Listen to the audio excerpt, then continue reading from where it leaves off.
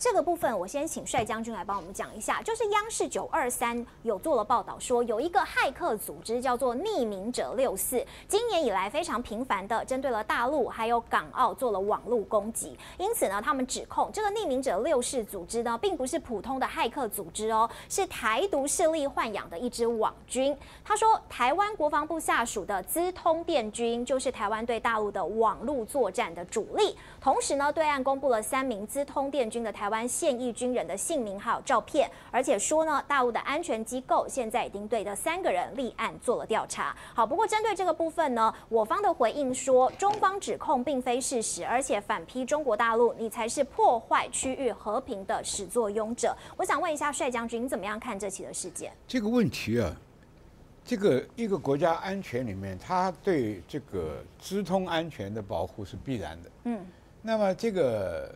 里面的骇客也分很多种，对，你是认知作战的呢，还是军情收密的呢？假定我要刺探军情，这种这种骇客也是理所当然的，没有什么好。如果说是造谣、捏捏造什么东西，搞认知作战呢？嗯，这就被被人家所不齿了哈。所以这个问题，今天我不晓得这三名军官做的，大陆指控他是指控他在做什么东西。但是骇客，都是不会欢迎的，因为现在的电路系统啊、电力调度啊、资讯的调度啊，都可以透过这种骇客的破坏造成重大。那么通常骇客它都会存在，就是我要摸清楚你是怎么运作的，你的频率是多少，你的这个这个网址在什么地方可以产生。你像以色列这个案子。他如果没有掌握那么精确的情报，不可能炸伤这么多人嘛。所以这个情报手段，网络骇客是一个。但是我们看，你像以色列做这个被人家所不齿，就是说你是等于恐怖活动。那这个一般的收集情情资啊，我觉得是正常。所以这边互相骂来骂去没什么太大意义。你有本事，你你骇客的能力比他更强，对不对？所以你立案调查也好。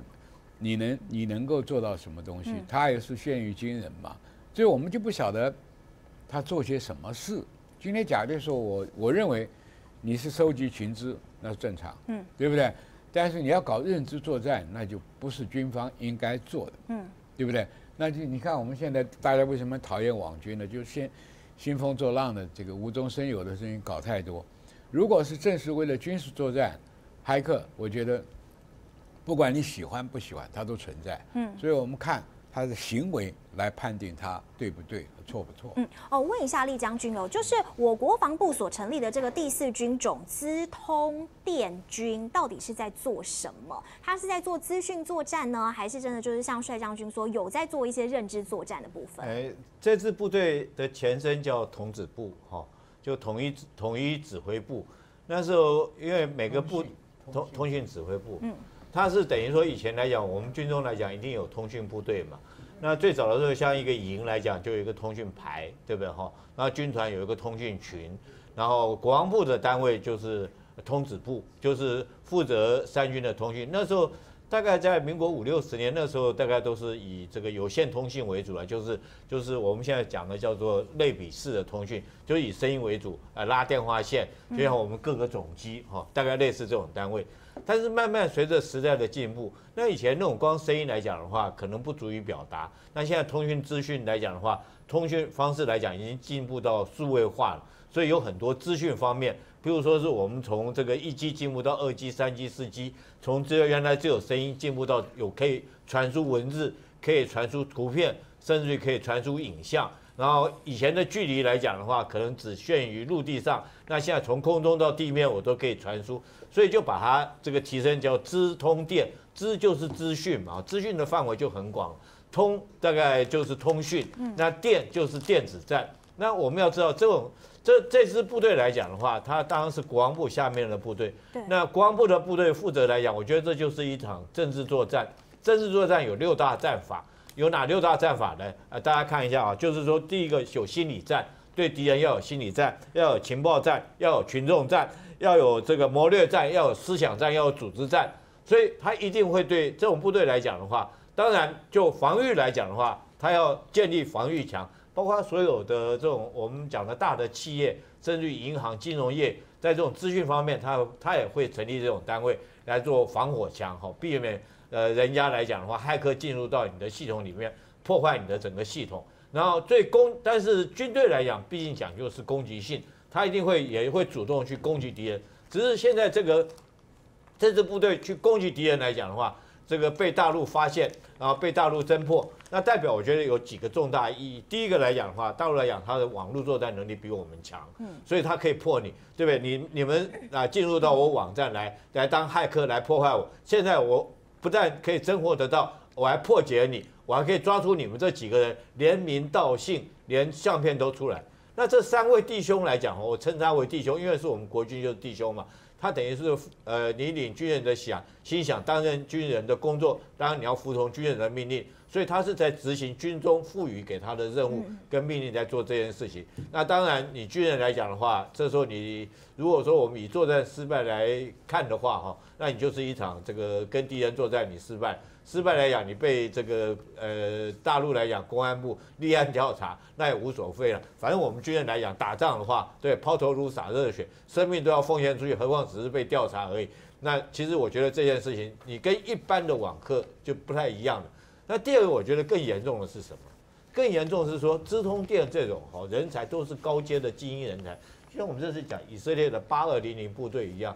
都是那种尖端的，呃，脑袋都很聪明，学习能力都很强，都会做网络，就像类似我们前一任的数位部部长一样，对不对？从小不读书，自己都可以这个当到数位部部长，所以都是这些人才。那这些人才来讲，在军中你要招募本来就不容易。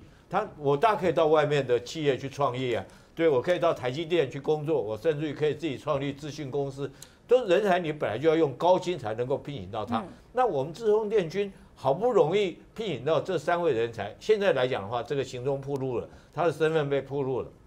那我是问你，后续我们国军还可不可以招到这种高阶的这种人才？包括呃，可能台大啊、这个清大、交大这种电机系，甚至于博士这些，愿意到你国防部来担任资通电的这种网络的，不管你要做防御或者做攻击的工作，我觉得对资通电来讲，这次打击是非常大，可能对你以后来讲招募人才不容易。其他的武器装备，或许我们可以用买买得到，我们可以买到飞机，买到大炮，买到战车。可是资通电来讲的话，除了硬体设备本来就很高啊，最重要是人才。那现在来讲的话，这次被对岸来讲真货，做了这次以后，会不会有寒蝉效应？那我们国军来讲，资通电军会不会更不容易招募到人才？这是我觉得国防部必须要考虑的啦。那资通电军哈，现在来讲也很也很现实。一百零六年把童子部。呃，通子部哈改成叫做资通电这个第四军种，但是那时候是蔡英文成立的。可是这支军种来讲的话，今年就拦腰斩了。